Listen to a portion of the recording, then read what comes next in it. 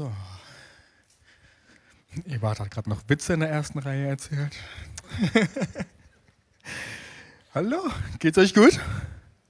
Ja, ja, ja, doch. Ganz okay, ne?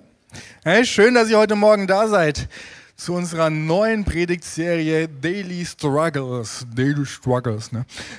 Daily Struggles, was meint das?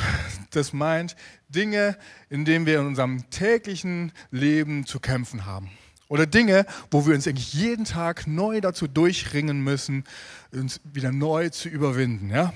Da kommen ganz viele verschiedene Dinge zusammen. Bei mir zum Beispiel sind es solche Dinge wie die Küche aufräumen. Mag ich nicht. Yes, ich habe da Bestätigung gehört. Sehr gut. Wäsche aufhängen, oh, kann ich auch überhaupt nicht leiden. Weißt, Wäsche in die Waschmaschine schmeißen, okay, aber die danach aufhängen, schön sauber, dass sie knitterfrei ist und so weiter. Nee, ist einfach nicht mein Ding. Oder halt auch solche Dinge, Stefan, früh aufstehen. Ich bin da ganz bei dir, wirklich. Also ich verstehe das vollkommen. Früh aufstehen ist überhaupt nicht mein Ding. Und es ist jeden Tag wieder ein neuer Kampf, morgens früh aufzustehen. Ich habe so Respekt vor Leuten, die das irgendwie gut können und gerne machen und Wecker klingelt und zack und aufstehen und fit sein. Nee, ist nicht so mein Ding. Oder halt auch so Dinge auf der Arbeit. Ja? Ähm, ich meine Arbeit im Musikhaus Clear hier, ich mache das echt gern, aber so manche Sachen gibt es, die macht man einfach nicht gern. Bei mir ist es zum Beispiel so Pakete versandfertig machen. Das dauert so lang, bis du Kartons findest und Füllmaterial und Zeug und dann musst du hier einen Lieferschein und da noch irgendwas ausdrucken. Ich hasse es wirklich. Aber es muss gemacht werden. Und das sind so Dinge, wo man sich jeden Tag neu dazu durchringen muss, die Dinge zu machen. In der Serie wollen wir uns aber mit ein paar anderen Dingen beschäftigen, nämlich mit ein paar größeren Lebensbereichen, ähm, die wir so haben. Da kommen solche Dinge dazu, wenn das Ding funktioniert. Jawohl. Ähm, wie Gott. Wie integrieren wir Gott in unser Leben? Wie ringen wir uns jeden Tag neu dazu durch, Gott näher kennenzulernen? Oder unser Mitmensch, Beziehungen, Beziehungen zu bauen. Oder eben auch der Alltag. Wie leben wir in unserem Alltag? Das, werden, das sind drei Themen, die wir in unserer kurzen, kleinen, dreiteiligen Themenreihe Daily Struggles durchgehen werden. Heute aber zuerst mit dem Thema Zeitfresser Gott. Damit steigen wir an. Bevor wir loslegen, dreh dich doch mal zu deinem Nachbarn um und sag, schön, dass du da bist, schön, dass du heute Zeit hattest zu kommen.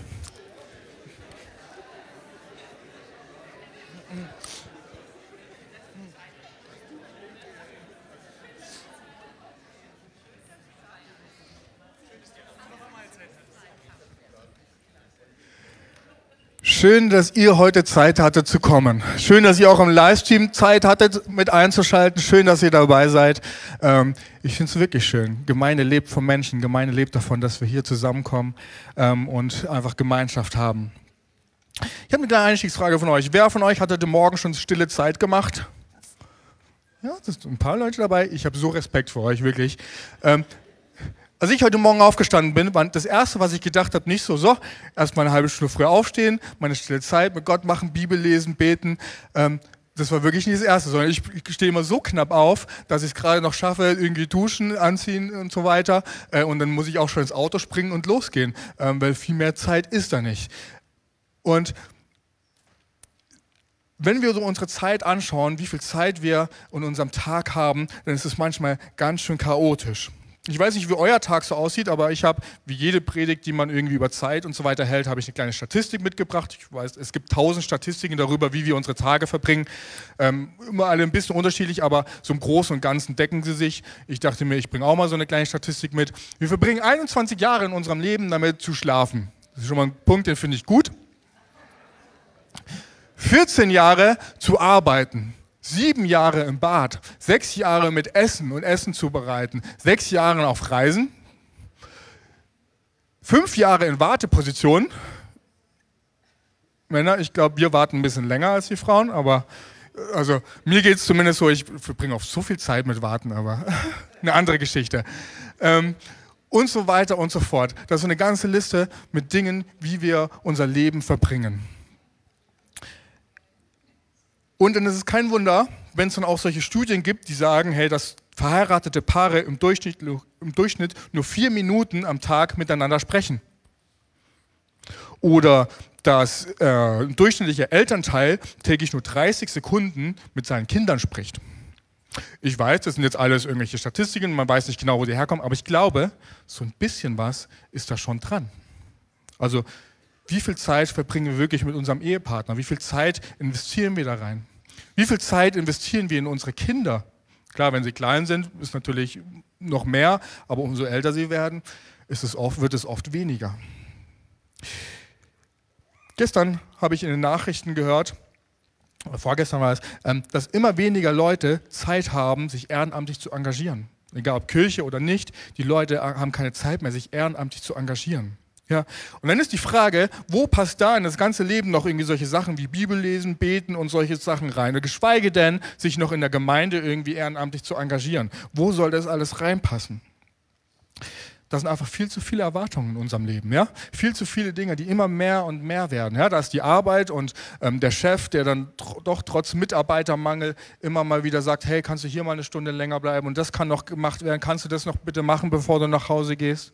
Da sind die Schulen, die immer mehr erwarten, da kommt immer mehr Nachmittagsunterricht dazu und Nachmittagsangebote und ähm, dann kommen irgendwelche Projekte noch dazu mit Musik und Theater und Tanz und keine Ahnung was. Und wenn man dann nach Hause kommt, dann sind da Hausaufgaben und ähm, dann noch die ganzen typischen Sachen wie Musikschule und Sportvereine und dann kommt hier und da mal noch ein Arztbesuch dazu. Hey, wo soll da noch irgendwie Zeit sein ähm, für Gott?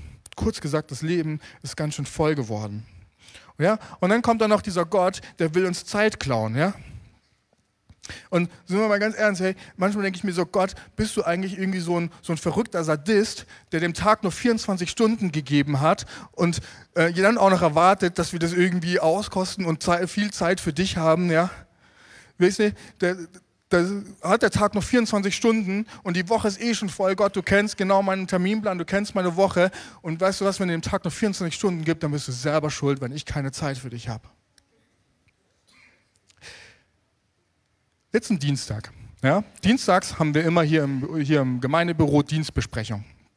Das treffen sich alle Hauptamtlichen und bequatschen so die wichtigsten Dinge der Woche und was halt so ansteht. Und normalerweise haben wir dienstags davor immer Powergebet. Das heißt, wir treffen uns früh morgens mit allen Leuten, die wollen, um, um für die Gemeinde, um für alles Mögliche zu beten und so weiter. Und so starten wir in den Tag, so starten wir quasi auch in die Gemeindewoche hinein. Und danach ist dann eben die Dienstbesprechung. Diesen Dienstag hatten wir aber kein Powergebet, weil Ferien waren, da fällt es immer aus. Und dann kam Eberhard zur Dienstbesprechung und hat als erstes gesagt, komm, jetzt hatten wir kein Powergebet, jetzt lass uns erstmal miteinander beten. Und das Erste, was ich dachte, ist, Herr Eberhard, wirklich, meine Woche ist irgendwie so voll, das, das, die Dienstbesprechung geht eh so lang und jetzt willst du auch noch beten. Können wir das nicht einfach sein lassen? So, das war mein erster Gedanke. Und ich habe mich mit diesem Gedanken erwischt, wirklich keine Zeit zu haben für Gott und zu sagen, hey, können wir das nicht irgendwie beiseite schieben? Ist doch eh schon so voll der Tag. Die Frage ist, oder die Frage, die wir uns oft stellen, wie und wo passt Gott eigentlich in unser Leben?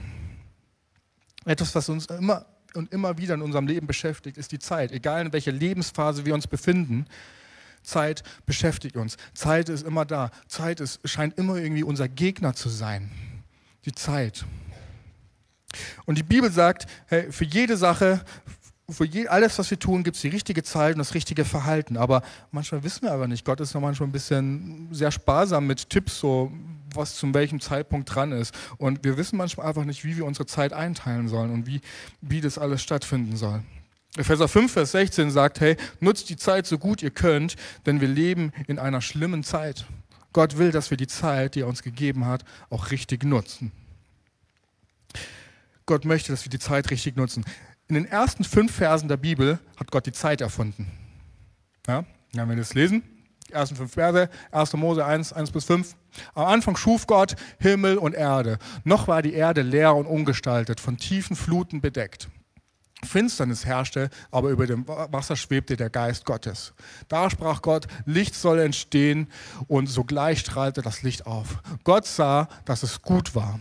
Er trennte das Licht von der Dunkelheit und nannte das Licht Tag und die Dunkelheit Nacht. Es wurde Abend und wieder Morgen, der erste Tag war vergangen.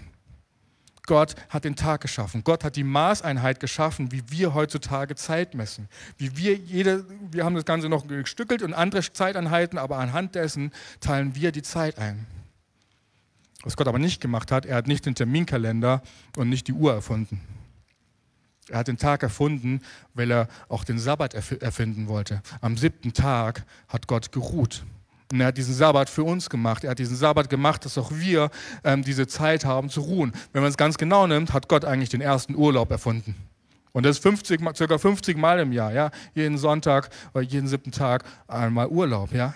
Das ist das, was Gott erfunden hat. Aber es fällt uns manchmal nicht leicht, auch diese Zeit zu nehmen. Zeitfresser Gott. Ich möchte mal einfach vorweggreifen, ich möchte mal ein bisschen spoilern. Ich glaube nicht, dass Gott unser Zeitfresser ist. Ich glaube nicht, dass Gott derjenige ist, der uns die Zeit klaut. Ich denke, dass Gott derjenige ist, der uns Zeit schenken möchte. Auch Freizeit, auch die Zeit, die wir für uns zur freien Verfügung haben, auch die Zeit, in der wir uns erholen können und in der es uns einfach gut geht, in der wir Dinge tun können, die uns Spaß machen. An dem Punkt könnten wir jetzt über Zeitmanagement sprechen und wir könnten darüber sprechen, wie man Kalender führt und To-Do-Listen führt und wie man seine Zeit richtig gut einteilt und lauter solche Dinge. Wir könnten darüber reden, wie wichtig es ist, jeden Tag seine stille Zeit zu machen, jeden Tag ähm, so und so lange Bibel zu lesen und zu beten und ähm, das wäre auch gut. Ja. Wir könnten auch darüber reden, dass es gut ist, weniger Netflix, weniger Fernsehen zu schauen, äh, weniger auf Instagram und Facebook unterwegs zu sein, das Handy ab und zu wegzulegen, bla bla bla, all diese Dinge. Aber wisst ihr was? Ich glaube, ich sitze hier von einem Haufen großer Menschen, die eigentlich ganz genau wissen, dass es nicht gut ist, fünf Stunden am Tag Filme und Serien zu gucken. Und ich glaube, jeder von euch hat irgendwie einen Kalender oder einen Zettel, wo er sich ab und zu mal eine Notiz und eine To-Do-Liste aufschreibt. Ich glaube, wir wissen es. Ich glaube, wir können theoretisch mit unserer Zeit umgehen. Und das, was ich nicht will, ist heute mit irgendeiner Moralkeule zu schwingen. Dazu stehe ich auch in zu schlechter Position. Wisst ihr, ich predige immer am meisten zu mir selber, aber ich glaube, noch nie habe ich so viel zu mir selber gepredigt wie heute bei diesem Thema. Ich möchte euch in was ganz anderes mit hineinnehmen. Und dazu habe ich euch eine meiner Lieblingsgeschichten aus der Bibel mitgebracht. Sie steht in Johannes 4, die ersten 18 Verse ähm, und wir steigen da einfach mal ein und lesen die durch. Das ist eine Geschichte von Jesus und da steht, den Pharisäern war zu Ohren gekommen, dass Jesus noch mehr Nachfolger gewann und taufte als Johannes, obwohl er nicht einmal selbst taufte, sondern nur seine Jünger. Als Jesus das erfuhr, verließ er Judäa und kehrte nach Galiläa zurück. Sein Weg führte ihn auch durch Samarien, unter anderem durch Sychar. Dieser Ort liegt in der Nähe des Feldes, das Jakob seinem Sohn Josef geschenkt hat. Dort befand sich der Jakobsbrunnen. Müde von der Wanderung setzte sich Jesus an den Brunnen. Es war um die Mittagszeit. Da kam eine Samariterin aus der, Nähe, aus der nahegelegenen Stadt zum Brunnen, um Wasser zu holen. Und Jesus bat sie, gib mir etwas zu trinken. Denn seine Jünger waren in die Stadt gegangen, um etwas zu essen einzukaufen. Vielleicht sind sie zum Dönermann gegangen oder zum McDonalds, wie auch immer. Der, die Frau, die war überrascht, denn normalerweise wollten die Juden nichts mit den Samaritern zu tun haben. Sie sagte, du bist doch ein Jude, wieso bittest du mich um Wasser? Schließlich bin ich eine samaritische Frau. Und Jesus antwortete ihr, wenn du wüsstest, was Gott dir geben will und wer dich hier um Wasser bittet, würdest du, dich, äh, würdest du mich um das Wasser bitten, das du wirklich zum Leben brauchst. Und ich würde es dir geben. Aber Herr, meinte da die Frau, du hast doch gar nichts, womit du das Wasser schöpfen kannst. Und der Brunnen ist tief. Wo willst du denn das Wasser für mich hernehmen? Kannst du etwa mehr als Jakob, unser Stammvater, der diesen Brunnen gegraben hat? Er selbst, seine Söhne und sein Vieh haben schon daraus getrunken. Jesus erwiderte, wer dieses Wasser trinkt, wird bald wieder durstig sein. Wer aber von dem Wasser trinkt, das ich ihm gebe, der wird nie wieder Durst bekommen. Denn dieses Wasser wird ihm zu einer nie versiegenden Quelle, die ewiges Leben schenkt. Ich liebe diese Geschichte. Aber die Geschichte hat auch so einige Typen. Ne? Ähm, viele von euch wissen es vielleicht, die Samariter, die waren bei den Juden wirklich nicht gerade angesehen. Also das war wirklich so ein Volk, wenn du Jude warst und du hast selber irgendwie von dir gedacht, so hey, dein Leben läuft nicht so, irgendwas machst du falsch in deinem Leben. Ja? Dann hast du als Jude die Samariter angeguckt und dachtest dir, ja, so schlecht ist mein Leben doch gar nicht. Das, dazu, dazu haben die Juden die Samariter benutzt. Die Samariter waren wirklich nicht angesehen bei den Juden. Dann war es auch noch eine Frau. Ja, liebe Frauen, es tut mir leid, aber zu dieser Zeit wäre es euch nicht so gut gegangen. Zu dieser Zeit ähm, wärt ihr wirklich Menschen zweiter Klasse gewesen. Ähm, das war wirklich, ähm, als Frau hatte man nichts zu melden. Also es war eine samaritische äh, samaritische Bürgerin, eine Frau auch noch dazu. Und dann kam auch noch dazu, sie ist mittags an den Brunnen gegangen. Niemand ist mittags an den Brunnen gegangen. Normalerweise sind die Menschen morgens zum Brunnen gegangen, wo die Mittagssonne noch nicht da war, wo die Mittagssonne nicht alles runtergebrannt hat und ähm, wo es super heiß war, sondern man ist morgens an den Brunnen gegangen. Das war der Ort, wo man sich getroffen hat, wo man den neuesten Klatsch und Tratsch ausgetauscht hat, ähm, da wo man die neuesten Nachrichten ausgetauscht hat, was ist gerade los, ähm, was passiert gerade hier bei uns. Da ist man äh, an den Brunnen gegangen. Und die Frau ist aber mittags gegangen. Warum ist sie mittags gegangen? Einfach, weil sie ausgestoßen war, weil niemand was mit ihr zu tun haben wollte, weil sie ein Leben geführt hat, ähm, was, was sündhaft war, was, was einfach nur schlecht war. Wir haben also die Frau, die am untersten Ende der Volksgruppe steht. Wir haben die Frau, die am untersten Ende der Geschlechter steht. Und wir haben die Frau, die nicht mal in ihrem eigenen Volk irgendwie auch nur anerkannt war. Und sie ist da mittags am Brunnen und Jesus redet mit ihr. Und er beginnt mit ihr ein Gespräch über Durst. Wenn wir über Durst reden, dann wissen wir eigentlich manchmal gar nicht so genau, Durst, was, was ist es eigentlich? Wenn wir Durst haben, dann es, liegt es meistens daran, weil wir zu viel salzige Pommes oder sowas gegessen haben und deswegen haben wir vielleicht einen trockenen Mund oder so.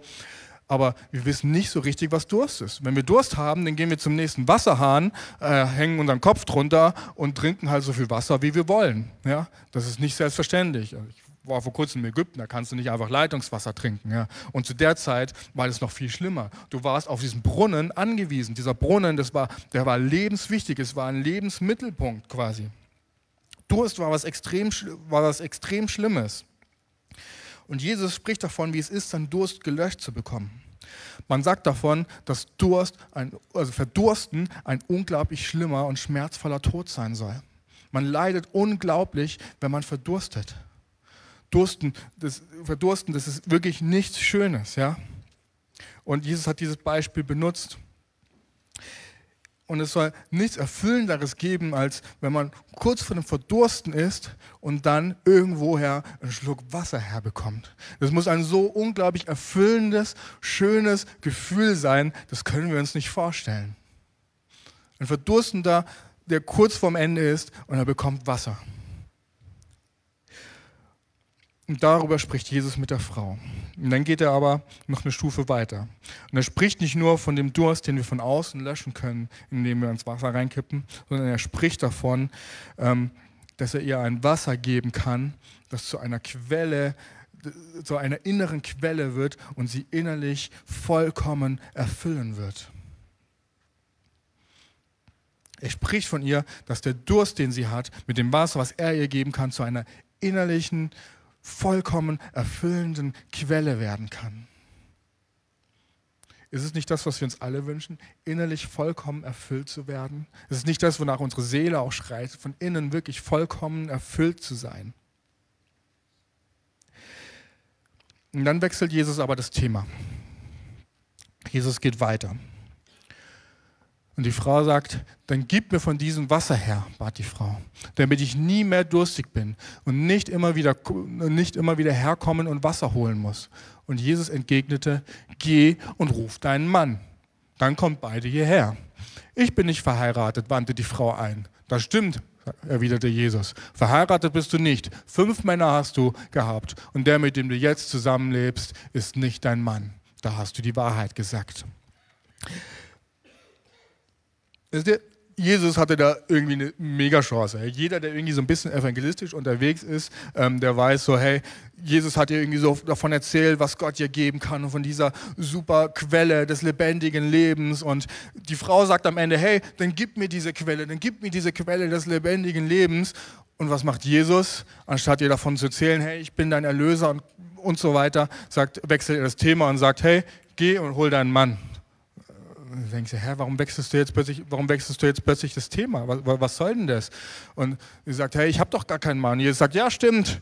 Und ich denke, woher weißt du das jetzt wieder, Jesus? Und so geht diese Geschichte weiter und er wechselt dieses Thema und fängt plötzlich an, von ihrem Leben zu reden und von dem, was eigentlich alles schief geht. Und was Jesus hier eigentlich machen will, ist zu sagen, hey, ich weiß, du hast Durst und ich weiß, du bist auf der Suche nach, nach, nach Wasser, was deinen Durst stillen kann. Aber da, wo du gerade suchst, da findest du das nicht. Da, wo du gerade suchst in der Welt, da, wo du suchst in deinen Beziehungen mit all deinen Männern, da findest du das nicht. Und diese Geschichte steht nur beispielhaft dafür, für das, wo wir versuchen, unseren Durst zu stillen. Und ich weiß es nicht, wie es dir geht. Wir kommen wieder zurück zu unserer Zeit. Ne? Ähm, wenn ich so meinen Alltag anschaue, dann sehe ich da oft ganz, ganz viele Dinge. Aber Gott ist da manchmal nur so ein Lückenfüller zwischendrin. Ich renne von Termin zu Termin. Wenn ich von der Arbeit komme, habe ich oft noch viele Dinge, die erledigt werden müssen. Manchmal kommt es vor, dass ich nicht meine Mittagspause mache, damit ich in der Zwischenzeit noch irgendwie Sachen erledigen kann. Und ich bin mir sicher, dass es wirklich manchmal einigen so geht. Man rennt von Termin zu Termin und ist hier und ist da. Und ich weiß nicht, wie es dir geht, aber ich finde es manchmal nicht so erfüllend. Ich sitze manchmal, sitz manchmal, abends dann zu Hause und denke mir, hey, was hast du eigentlich heute getan? Du bist von Termin zu Termin gerannt. Ähm, beim Musik Clear habe ich ein paar Gitarren ausprobiert und an den Mann gebracht. Aber was hast du eigentlich am Ende des Tages gemacht?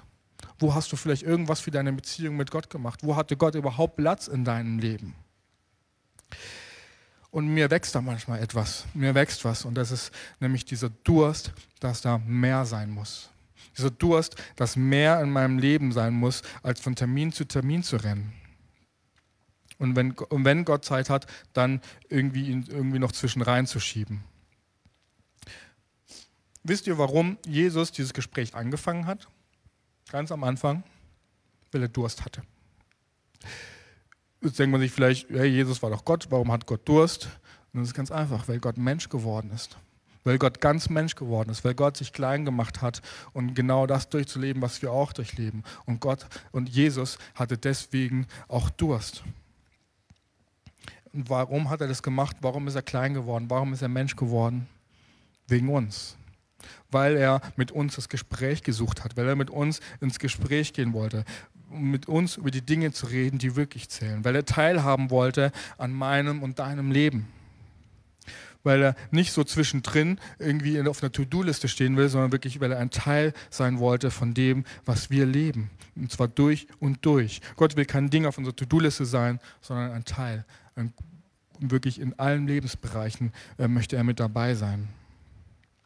Er möchte dann mit dabei sein, wenn wir auf der Arbeit sind. Er möchte dann mit dabei sein, wenn wir in der Schule oder in der Uni sind. Er möchte dann mit dabei sein, wenn wir äh, mit unseren Familien zusammen sind. Er möchte dann mit dabei sein, wenn wir, wenn wir mit unseren Freunden zusammen sind. Er möchte dann mit dabei sein, wenn wir im Wartezimmer unseres Arztes sitzen. Er möchte dann mit dabei sein, wenn wir im Auto sitzen, um, zu unserem nächsten Termin zu fahren. Er möchte dann mit dabei sein, wenn wir in der Stadt sind, zum Shoppen oder sonst irgendwas machen. Gott möchte ein Teil von unserem ganzen Leben sein und nicht nur äh, in dem Terminkalender morgens zwischen halb acht und acht. Er möchte Teil in unserem Leben sein. Und wisst ihr, wie es mir geht? Ich will nicht mehr wie jetzt am Dienstag in der Dienstbesprechung dastehen und denken, ob das jetzt wirklich sein muss, ob wir, dass wir jetzt Zeit mit Gott verbringen. Ich möchte nicht mehr dastehen und denken so, oh, können wir das nicht sein lassen? Ich habe noch andere Sachen zu tun. Nein, das ist nicht das, was ich, das ist nicht das, was ich mir wünsche für mein Leben. Ich wünsche mir, dass wir Durst bekommen nach mehr. Dass wir Durst bekommen nach mehr von Gott nach mehr von seiner Gegenwart, nach mehr von dem, was er für mein Leben vorgesehen hat. Die Geschichte hat da nicht aufgehört. Er hat angefangen, plötzlich über Anbetung zu sprechen. Er kam von Durst über die Erfüllung unseres Lebens hin zur Anbetung, weil der Ort, an dem wir Erfüllung suchen, ist der Ort, an dem wir anbeten werden. Der Ort, wo wir Erfüllung suchen, ist der Ort, wo wir anbeten werden. Ich möchte nicht, dass Gott ein Lückenfüller ist. Ich möchte, dass Gott ein Teil unseres Lebens ist, weil Gott möchte, ein, möchte integriert werden in unseren Alltag. Ich möchte hier sein mit Leidenschaft und mit Vision. Ich möchte hier sein, damit mit, mit viel Freude, damit mehr Menschen von Gottes Liebe erfahren können. Ich möchte hier sein mit einer Leidenschaft, damit mehr Menschen die Gnade Gottes äh, sehen können. Ich möchte hier sein mit Leidenschaft, mit Kreativität, mit Spaß, mit Freude, damit wir Menschen sehen, damit Menschen mehr sehen können, wer Gott eigentlich ist. Das ist der Grund, warum wir Gemeinde bauen. Das ist der Grund, warum wir uns Sonntag für Sonntag hier versammeln, warum wir unter der Woche uns hier versammeln, warum wir überhaupt so ein Gebäude gebaut haben, damit wir hier zusammenkommen können. Nicht nur hier, sondern auch zu Hause in unseren Kleingruppen und dort, wo wir sind. Das ist der Grund, warum wir Gott mehr und mehr in unserem Leben integrieren müssen. Gott möchte mehr und mehr Menschen erreichen. Und ich möchte das nicht nur machen mit so, oh, jetzt will ich wieder, muss ich wieder hier sein, oh, jetzt muss ich wieder äh, irgendwie beten und wieder dabei sein, sondern ich möchte es tun, weil ich diese Freude daran habe, weil ich diese Leidenschaft daran habe, weil ich Bock drauf habe, dass, dass mehr passieren kann, weil ich mehr von dem sehen will, was Gott vorbereitet hat, weil ich mehr von seiner Vision sehen will für diese Stadt Nürnberg und für das, wie er Menschen hier erreichen will. Und ich weiß, das ist manchmal nicht leicht. Das, also Wirklich, es ist manchmal so unglaublich schwer, Gott da zu, zu integrieren. Psalm 22, Vers 4 steht, aber du bist heilig, der du wohnst unter den Lobgesängen Israels. Gott wohnt in unseren Lobgesängen. Gott wohnt in unserem Lobpreis. Jesus hat nicht umsonst angefangen, über Anbetung zu sprechen mit der Frau. Ja, diese Bibelstelle geht weiter. Wir kennen, viele von uns kennen diese Stelle. Das ist diese Stelle, wo Jesus sagt, hey, Gott wünscht sich wahre Anbeter. Anbeter, die in Wahrheit und Geist anbeten. Das heißt, das sind Menschen, die wirklich mit ihrem ganzen Leben nach Gott suchen. Und deswegen fängt Gott an, kommt vom Thema Durst ähm, über die Erfüllung unseres Lebens zu diesem Thema Anbetung. Weil Anbetung ganz klar was damit zu tun hat, wie wir Gott in unserem Leben integrieren können indem wir Gott suchen. In unserer Arbeit, in unseren Schulen, in unserer Freizeit, in unseren Familien, mit Freunden, in unserem Wartezimmer beim Arzt, äh, in unserem Auto, in unserem Zug, wo wir sitzen und wo wir Menschen begegnen. Überall da, wo wir sind, können wir Gott mit hineinnehmen. In all den Fragen, die wir haben, in all den Entscheidungen, die wir treffen in unserem Leben. Ob es große Entscheidungen sind, die gerade vorne stehen, oder ob das die ganz kleinen Entscheidungen sind. Lass uns da Gott mehr und mehr mit hineinnehmen. Gott wohnt im Lobpreis seines Volkes. Wenn wir ihm Raum geben durch Anbetung, ja, dann kann er bei uns wohnen. Gott möchte kein Besucher sein in unserem Leben. Und dann möchte ich euch mit hineinnehmen, auch in das, was ich euch diese Woche mitgeben will. Die zentrale Idee.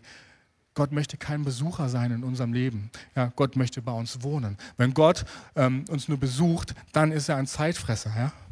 Kennt ihr das, wenn ihr Besuch habt? Ähm, das können, selbst wenn es unsere besten Freunde sind, manchmal ist Besuch einfach anstrengend. Und manchmal raubt uns Besuch einfach die Zeit. Und man denkt sich so, wann wolltet ihr nochmal wieder gehen?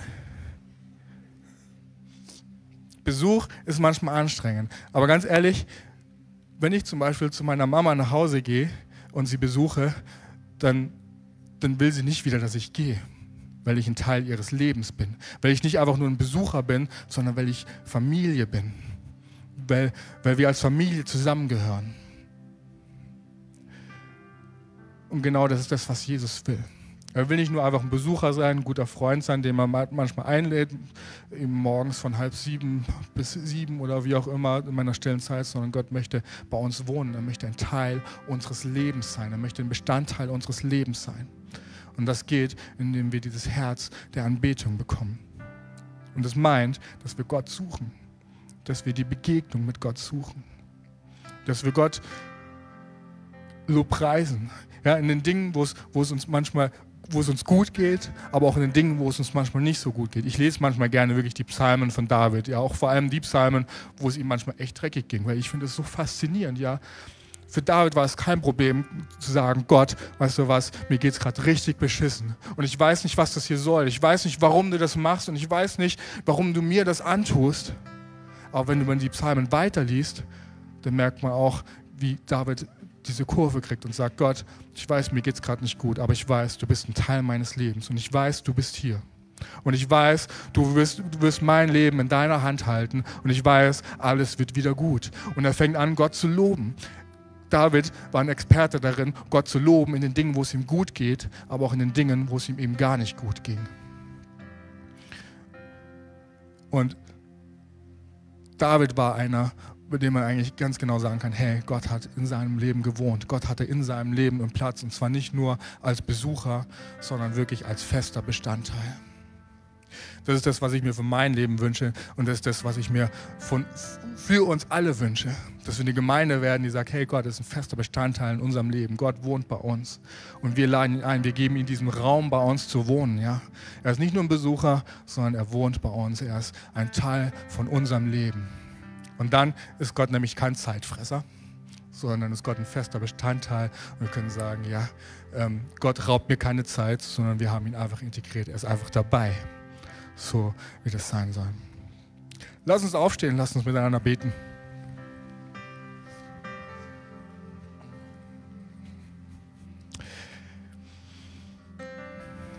Jesus, ich danke dir dafür, dass du hier bist. Und ich danke dir dafür, dass du nicht einfach nur ein Besucher in unserem Leben sein willst. Dass du nicht einfach nur zu Besuch kommen willst, kurze Zeit und dann wieder gehst, sondern dass du wirklich bei uns wohnen willst.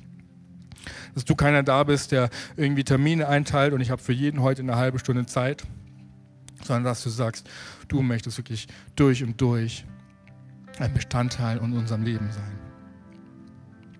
Jesus, wir stehen heute hier, weil wir dir sagen wollen, wir wollen, dass du Teil unseres Lebens bist. Dass wir, wir wollen dich mehr und mehr kennenlernen. Wir wollen mehr und mehr, dass du integriert wirst in das, was wir, äh, was, das, was unser Alltag so bringt und was unser Alltag so zu bieten hat. Wir wollen, dass du Teil davon bist, von, von unserem Leben, von morgens bis abends. Und wir wollen dich mit hineinnehmen in die Entscheidungen, die wir treffen. In die leichten Entscheidungen von Frühstück bis welche Route nehme ich, bis hin zu den schwierigen Entscheidungen des Lebens. Wir wollen, dass du mit dabei bist. Weil wir wissen, dass du es gut mit uns meinst. Weil wir wissen, dass du ein guter Gott bist und du ähm, das Beste für unser Leben vorgesehen hast. Und wir wollen dir da wirklich unser Leben, wir wollen dir unsere Entscheidungen, wir wollen dir die Dinge, unsere Fragen auch im Leben, wir wollen sie dir anvertrauen, Jesus. Ich danke dir, dass du da bist. Ich danke dir dafür, dass du jeden hier drin siehst, dass du jeden hier drin liebst, dass du für jeden die gleiche Zeit hast, dass du für jeden die gleiche Liebe hast, dass du für jeden die, für jeden die gleiche Leidenschaft hast hier drin. Und wir danken dir, dass wir dir unser Leben anvertrauen dürfen. Lass uns noch zusammen das Vaterunser beten. Wisst ihr, das Vaterunser, das ist nicht einfach nur irgendwie so ein Teil der Liturgie, die wir machen, weil man es halt irgendwie so macht in der Kirche, ne? sondern es ist, ein, es ist ein Gebet, was Jesus uns gegeben hat, genau dann, wenn wir mal nicht wissen, was wir sagen sollen zu Gott und wie wir mit Gott reden sollen. Ich weiß, mir geht es manchmal so, dass, dass ich gerade nicht weiß, hey, was soll ich gerade beten und wie soll ich, wie soll ich dir gerade ausdrücken, was ich eigentlich denke. Und genau dann ist dieses Gebet das Richtige, weil es uns Jesus gegeben hat, genau für solche Fälle, dass wir trotzdem zu Gott reden können, zu Gott beten können und in Gott bitten können, einfach in unserem Leben zu sein. Deswegen lasst uns das Vater unser beten. Unser Vater im Himmel